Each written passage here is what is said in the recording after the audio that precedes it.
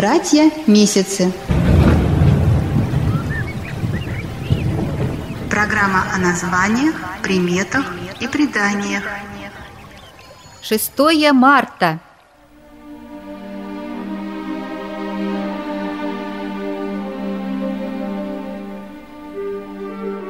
Тимофей Весновей. Вот только когда начинают дуть по-настоящему теплые ветры, купол небосвода синеет и чуть приподнимается над землей. Солнце слегка припекает, и в воздухе чувствуется пока очень робкий, но уже ощутимый запах весны. Даже случись в этот день плохая погода, огорчаться не стоит. На Тимофея Весновея – как ни злись метелица, а все равно весной повивает. Ведь март не декабрь, с ним морозу не ужиться, снегу не улежаться. Весновей теплом привечает, скорую оттепель сулит. И до чего же приятно в тихий, солнечный день выйти на улицу да присесть, хоть на минуточку, но уже свободную от снега заваленку, наслаждаясь теплом и светом. Весеннее веет и старого греет – говорили когда-то, наблюдая за тем, как радуются старики приходу весны, как верят тому, что доживешь до весновея, а там и зима не страшна. По Тимофею весну смотрели. Каков Тимофей, такова и весна. Если вокруг дерева края тающего снега крутые, к холодной весне, пологие – к долгой.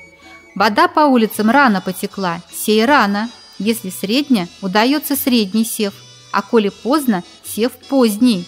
Весна ранняя, так рано и заосенит, осень наступит рано. Встретишь белого зайца, то обязательно еще снег выпадет. Согласно поверьям, весна, начавшаяся на Масленицу, на Тимофея окончательно вступала в свои права. Отсюда и название этого дня – Весновей, Весняк, Весновки.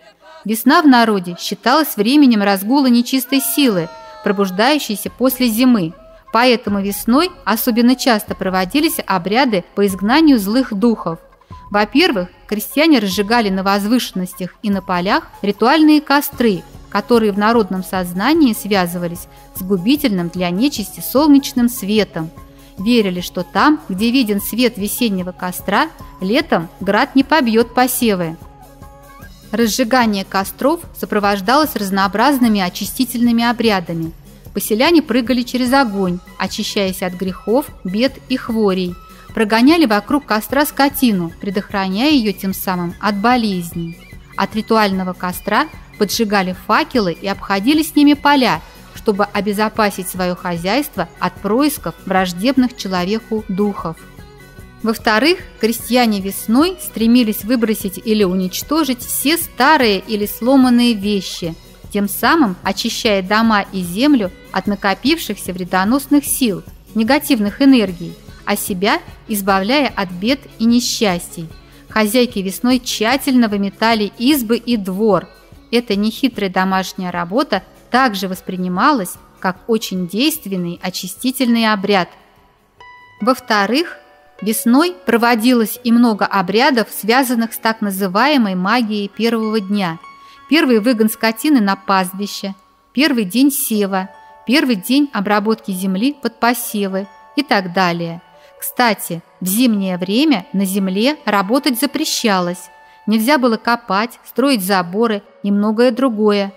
Связан этот обычай был с верой в землю, как в живое существо, которое зимой засыпает и чей покой тревожить нельзя. И как же все эти ритуалы и обряды схожи с ритуалами и обрядами наступающей Камаедицы Масленицы, где кульминацией праздника является ритуальное сжигание чучела зимы, древний смысл которого – уничтожение старого, но необходимого для проявления нового, новой жизни, плодородия.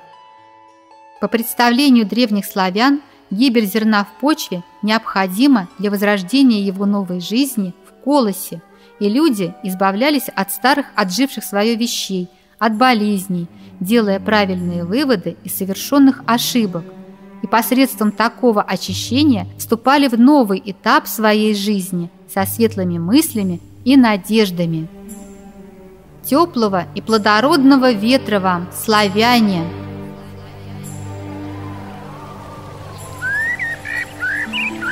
Братья месяцы –